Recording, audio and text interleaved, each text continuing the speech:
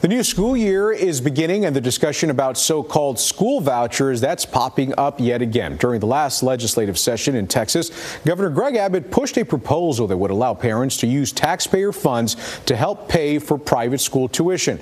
Well, that failed, but this week the idea of school choice came back up for discussion during meetings with the Texas House Public Education Committee in Austin. Lawmakers spoke with people from out of state about their school choice programs, and opponents also voiced concerns that these programs programs could take funding away from already struggling public schools. Tonight, our media partners at Texas Monthly are diving into a similar plan that's already being reviewed at a North Texas school district. The proposal is being pushed at Princeton ISD.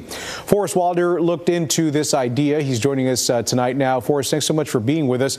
Uh, tell us how the proposal for Princeton, Princeton ISD would work.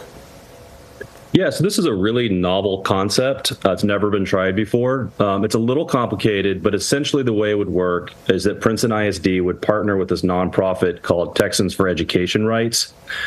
They would then um, go out and seek private schools that would want to enter into this partnership as well so these students would be technically they'd be enrolled in Princeton ISD, but they'd actually be receiving an education and attending school at private schools throughout the state using taxpayer dollars uh, that would be coming partially from uh, the the state state coffers.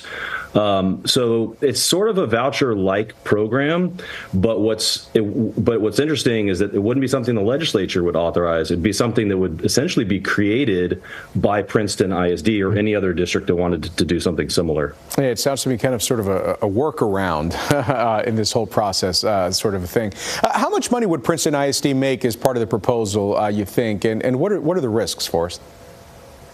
It's not entirely clear how much they would get. Um, their uh, leadership, their superintendent, and their board members said they wouldn't be pursuing this if it didn't provide significant financial benefits to them and their students. Um, the draft contract that I saw was something like $300 per student, uh, which means that the lion's share of funding would be flowing past or through Princeton ISD and going to the partner, the nonprofit partner, and the the private schools themselves. Um, as far as risks, uh, there's significant risks, and that's why they've been talking about it for a year and a half and haven't actually gone through with a contract.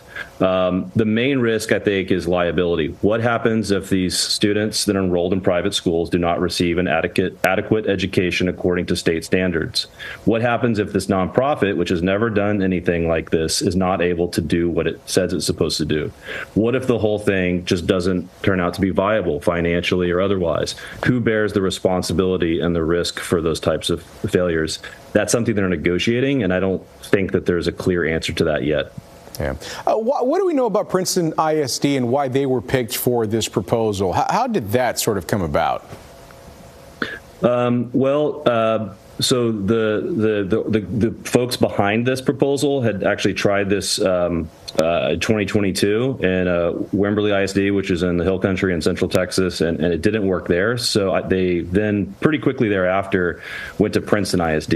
I think the reason why is because there are, is a school board. There's a majority on their school board there um, that it feels pretty strongly about school choice and voucher issues, i.e., they're they're in favor of of vouchers and school choice in general.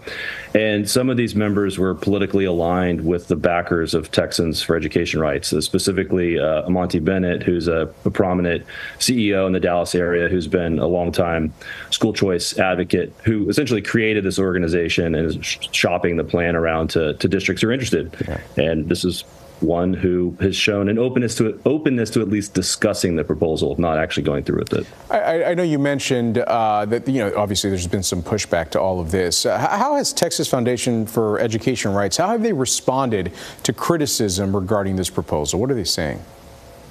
Well, I think what's interesting is actually I'm not I, I don't believe that people in Princeton ISD, the community at large, is really all aware this is happening. Um, it's a little complicated. Um, not everybody's, you know, sort of immediately understands what's happening here because it takes some time to, to, to explain it.